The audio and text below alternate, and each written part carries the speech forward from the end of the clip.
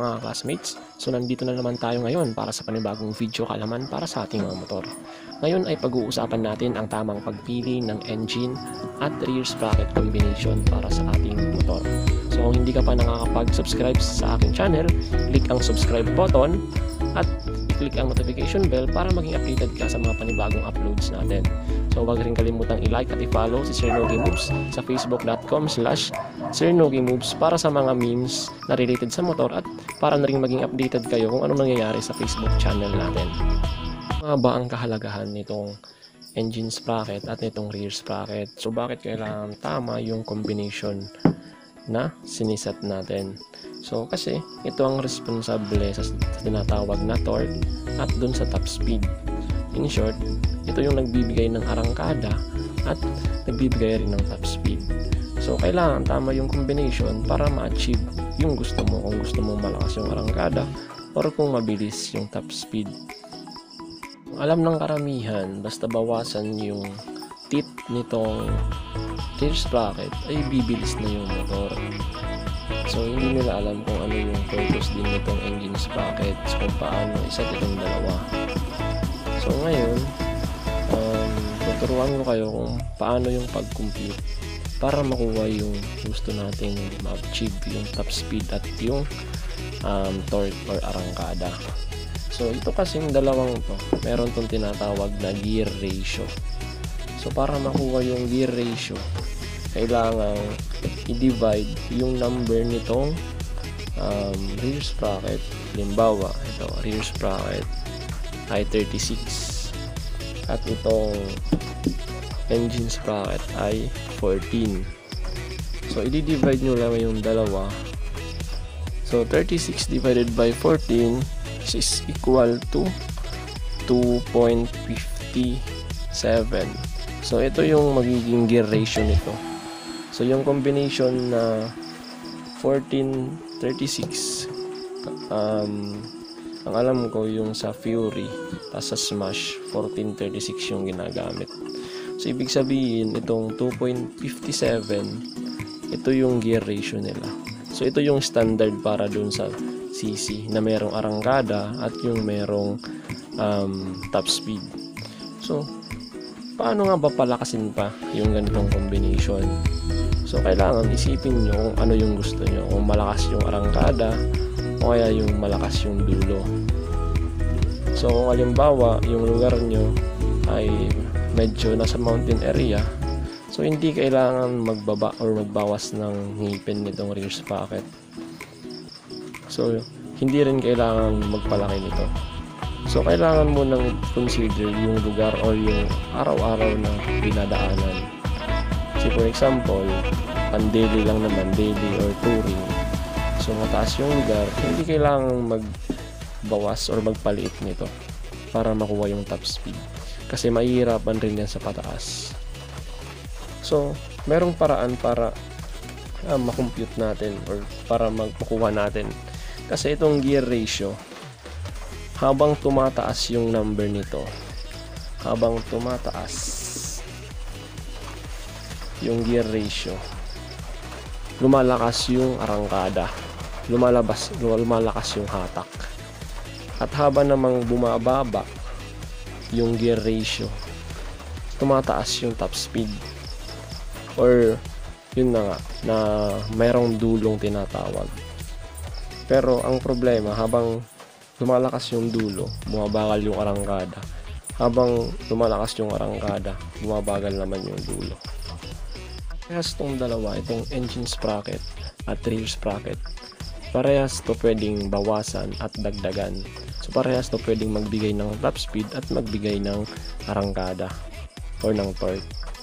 So itong engine sprocket natin, pag ito binawasan, halimbawa, naging um, 13 na lang. Naging 13 bit. Tapos, dati pa rin 36 yung rear sprocket. So, 36 divided by 13. 2.76. So, 2.76 yun, yung gear ratio. ibig sabihin, mas mataas dito sa 2.57.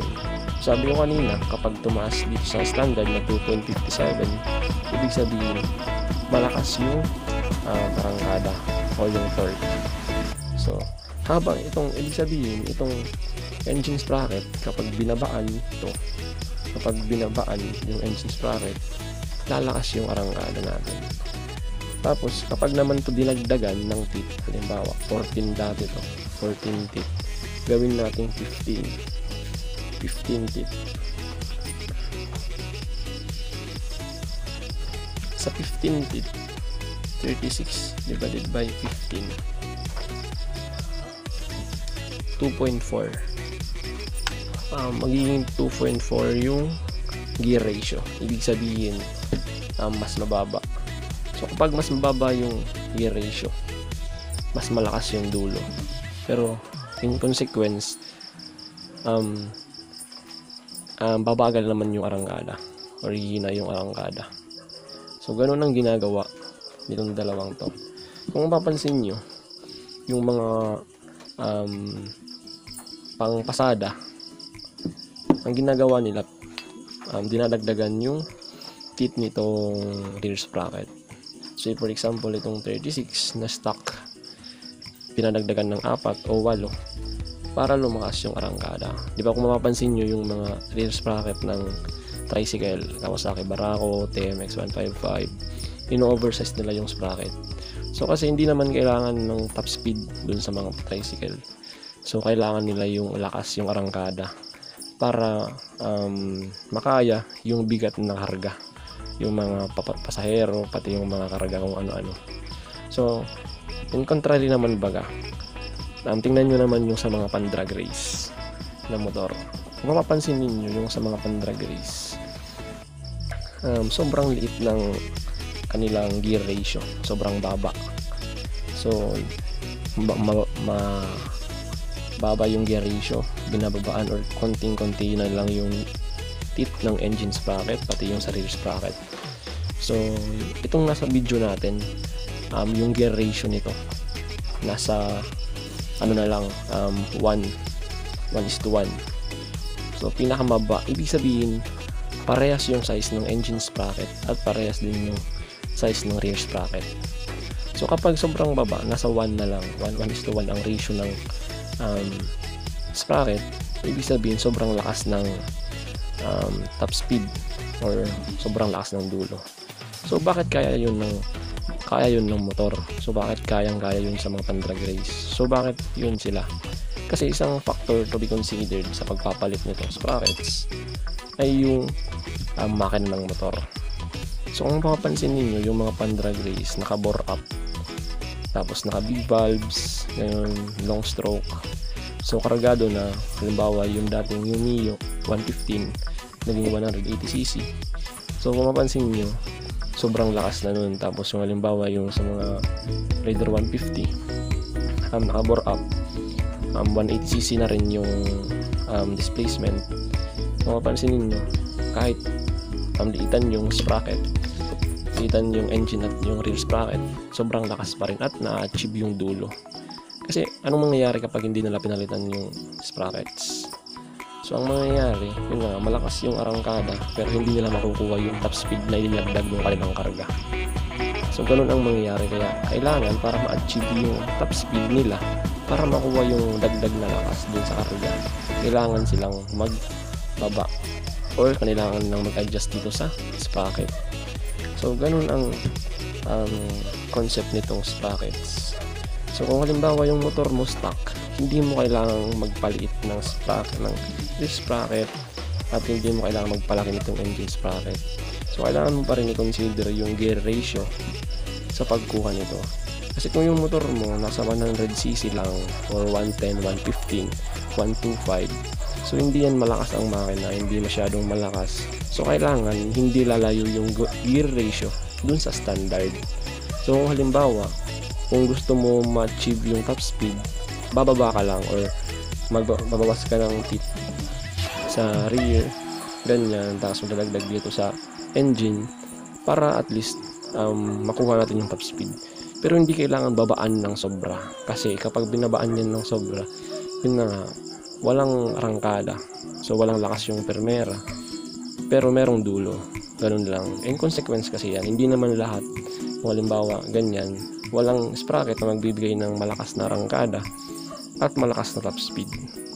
So, kung kaya baga ang ginagawa ng mga sa pang drag race, yung ginagawa nila, uh, malakas na makina, tapos mababang or yung low speed na um, sprocket para ma-achieve yung bilis. Yung sa mga tricycle naman, um, pasada, kaya gina- ginagawa nila, tinataasan or di- dinadamihan yung tit ng sprocket, pinapalakihan para makuha yung arangkada o yung hatak para lumakas yung hatak kahit walang top speed. Kasi hindi naman nila kailangan ng top speed.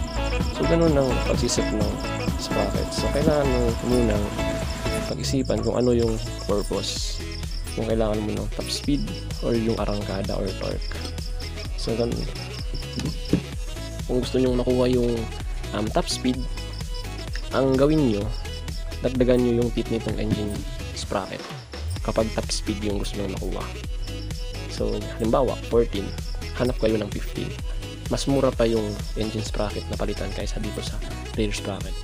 So dito kayo magdagdag kung gusto nyo ng top speed. Kung halimbawa naman um, gusto nyo um, malakas yung hatak yung arangkada ng motor. Halimbawa yung gagamitin nyo sa pasada or medyo mataas yung lugar na binabiyahe nyo araw-araw dito kayo magdagdag sa rear sprocket.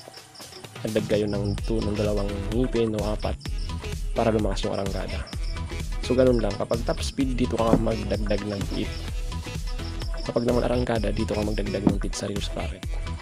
So ganun yung combination na ginagawa ko. Tapos pakiramdaman nyo sa motor nyo kung satisfied kayo dun sa performance ng sprocket so ganun lang naman yung pag-set nito So kung meron pa kayong mga katanungan, mag-comment na lang sa ating comment box below.